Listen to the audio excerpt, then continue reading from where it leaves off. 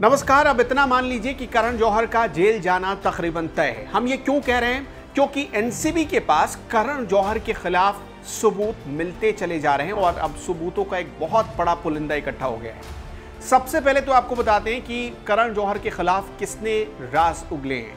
क्षितिज प्रसाद, जो कि करण जौहर के धर्मा प्रोडक्शन के पूर्व डायरेक्टर रह चुके हैं।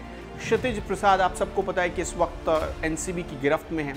वो इस वक्त कस्टडी में है और लगातार एक से बढ़कर एक राज उगल रहे हैं। लेकिन इसी बीच क्षितिज प्रसाद के वकील सतीश मानस शिंदे।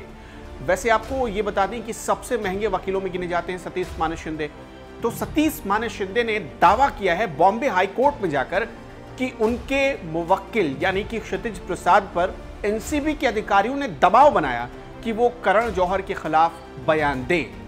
सतीश मान्य शिंदे ने कोर्ट में यहाँ तक बताया कि क्षितिज प्रसाद को एनसीबी अधिकारियों ने ऑफ़र दिया कि करण जौहर को अगर फंसा देते हो तो हम तुम्हें छोड़ देंगे। लेकिन क्षितिज प्रसाद ऐसा करने से मुकर गए, जिसके बाद उन्हें कस्टडी में ले लिया गया। ये दावा है सतीश मान्य शिंदे का। वैसे आपको बता दें कि सतीश मान्य शिंदे रिया चक्रवर्ती के भी वकील हैं। वो महाराष्ट्र के, मुंबई के महँगे वकीलों में गिने जाते हैं, जिनकी फ़ीस लाखों लाखों रुपए में होती है। तो अब सतीश मान्य शिंदे कि ये फ़ी कहाँ से भर रहे हैं क्षितिज प्रसाद? ये भी बड़ा सवाल है क्या करण जौहर तो ये फ़ी नहीं दे रहे हैं। और वैसे करण जौहर की मुश्किल जो दूसरा बड़ा सबूत मिला है उनके खिलाफ एनसीबी को, वो है उनके घर पर हुई एक पार्टी का वीडियो, जो सोशल मीडिया पर 2019 से वायरल है। आपने भी देखा कि इस वीडियो में कई बड़े कलाकार नज़र आ रहे हैं, दीपिका पदुकोण से लेकर अर्जुन कपूर, रणवीर कपूर, शाहिद कपूर, मलाइका अरोड़ा खान, ये तमाम लोग नज़र आ रहे हैं। तो अब इस वीडियो पर भी जाँच शुरू हुई थी। इस वीडियो को फॉरेंसिक लैब भेजा गया। फॉरेंसिक लैब में ये वीडियो सही पाया गया, यानी इसमें कोई एडिटिंग नहीं हुई है।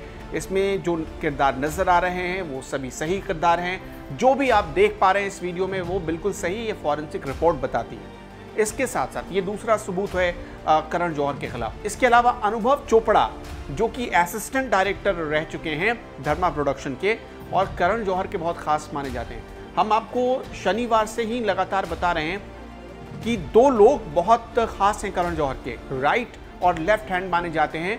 एक तो अनुभव चोपड़ा, जो कि लेफ़्ट हैंड कहलाते हैं करण जौहर के, और दूसरे में क्षितिज प्रसाद, जो कि राइट हैंड कहलाते हैं करण जौहर के। क्षितिज प्रसाद इस वक्त कस्टडी में हैं, जबकि आपने ये देखा कि अनुभव चोपड़ा से लगातार पूछताछ हो रही है एनसीबी उन्हें लगातार समन कर रही है, और हर दिन वो तकरीबन एनसीबी के ऑफ़िस में जा ही रहे हैं, उनसे सवाल रहा है। तो तीन बड़े सबूत तो करण जौहर के खिलाफ मिल चुके हैं, लेकिन करण जौहर ने अपने जो क्षितिश चोपड़ा के वकील हैं, उनका दावा ये है कोर्ट में कि जानबूझकर एनसीबी के अधिकारी दबाव बना रहे हैं ताकि करण जौहर को इसमें फंसाया जा सके, इस मामले में उनकी छवि खराब की जा सके।